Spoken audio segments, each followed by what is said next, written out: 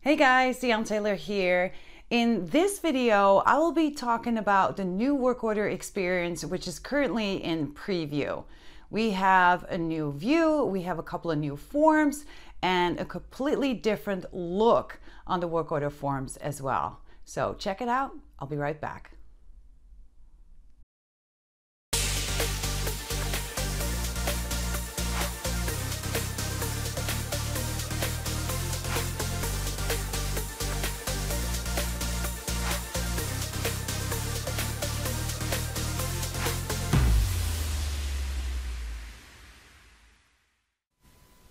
So let's start with the work order view that is part of this improved work order experience. So the first thing I'm going to do here is I'm gonna, just going to go and find my work orders preview view. And there doesn't seem to be anything special about this, right? This is just a view with some information on here.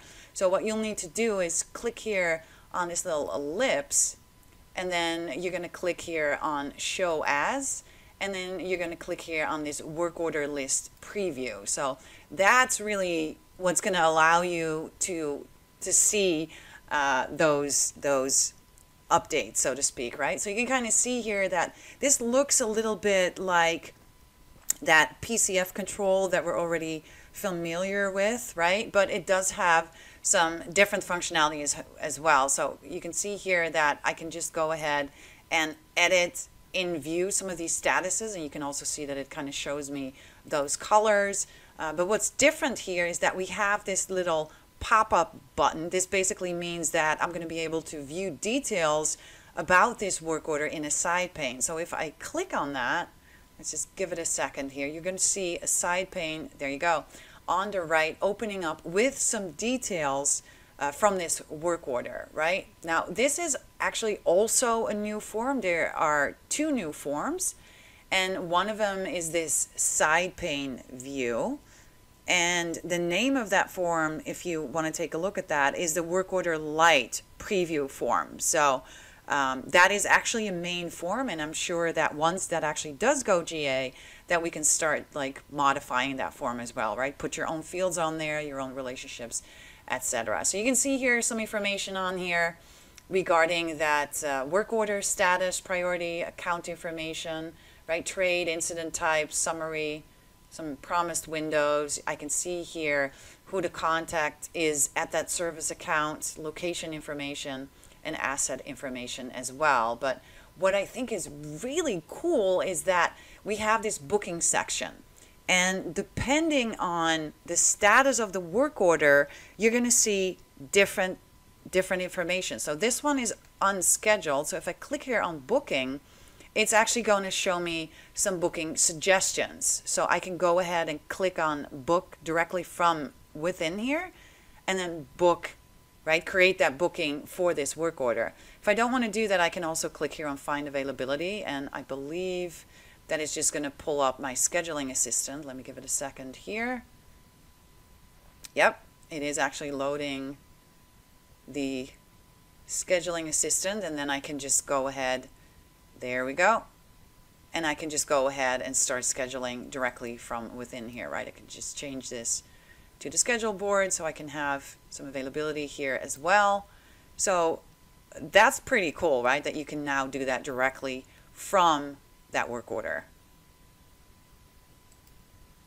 Now let's take a look at a scheduled work order. Again, I'm going to click on this little icon and you're going to see that we can actually have multiple work orders open in this side pane, right? I can just go back and forth between those work orders. But this one is scheduled. So now let's take a look. When we click on booking, right, it's going to give me different types different type of information, right? You're going to see details regarding the resource that's been booked for this work order. So you can see the date and time of the booking and the duration of the booking. I can also go ahead and rebook from here. If I click here on this, these three little dots, you can see I can move it, I can delete it, or I can just go ahead and open that booking. And then lastly, let's now take a look at the completed work order. Again, I'm going to click this little icon which should open this again in my side pane. Right now I have three open as you can see. And now let's take a look at the booking section, oops, again, I think I opened it all the way up by mistake. Let's try to do that again. Because we're going to see different information now because this work order was actually completed.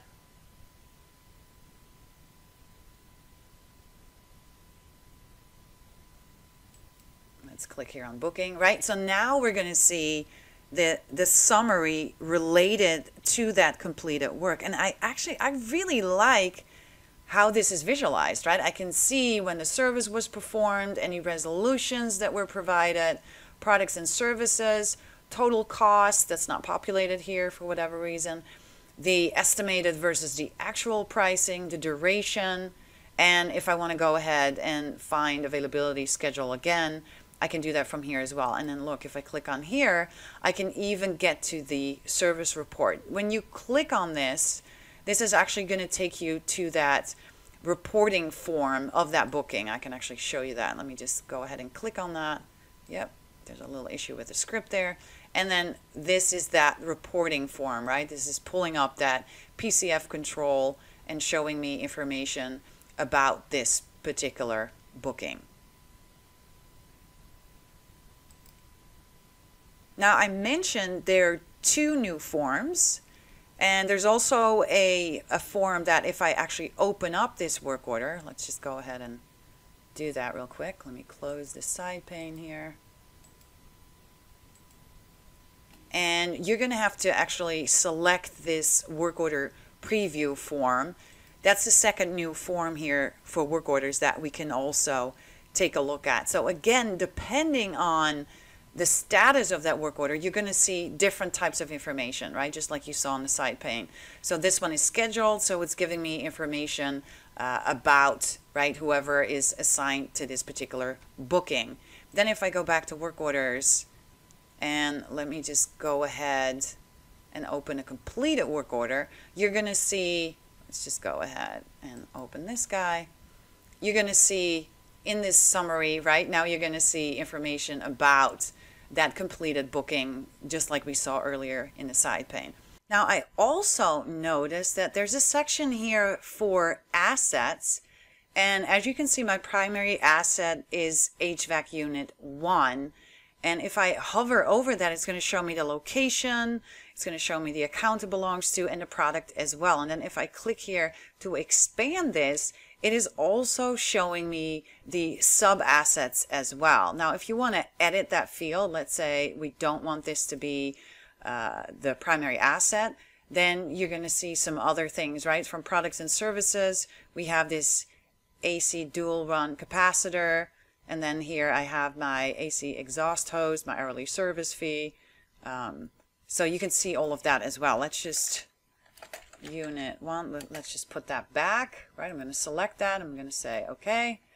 And that brings me back here to this screen uh, directly showing me all of that asset information. Now, some other things I wanted to highlight here, product and services. This is a really nice visual, right? So I can see all the services, I can see the status of them, and look at that. If I click here on this little side pane icon, again, it's going to pull up right, that particular record in a side pane and I can go ahead and I can make changes to it and then I can just save that. Same thing with uh, products as well, right? This is showing me what type of products these are, uh, the estimated quantity, and then this is the status is what I'm guessing. I can't really see that because of my, oh, this card changes. Yep. Let's just go ahead and collapse that, right? So the status over here as well. And again, the ability to kind of pop that out in that side pane. And then we have the tasks, obviously, related to this work order, right? So again, I can see which ones are complete, incomplete. Here's even an inspection that I have. And then again, I'm going to be able to kind of pull that out, pop that out, I should say, in the side pane, just like we could uh, with the other ones as well. And then when we click on reference, this is going to show you right? Any knowledge articles that are related to this work order. Uh, you can also use this guides from tasks, right? So if you want to add that, and then some media. So if you have any pictures or anything uh, that's related to this work order, you're going to be able to uh, to view that from here as well. So I really love these new improvements. I think it looks a lot cleaner, right? And it looks really fresh to me as well. So hopefully uh, we can uh, we can start using this pretty soon. And I'm hoping you like these new improvements as well. I hope you enjoyed this video and if you did, don't forget to hit that like button. Also, don't forget to subscribe so you'll never miss another video again. Thanks for watching. Until next time.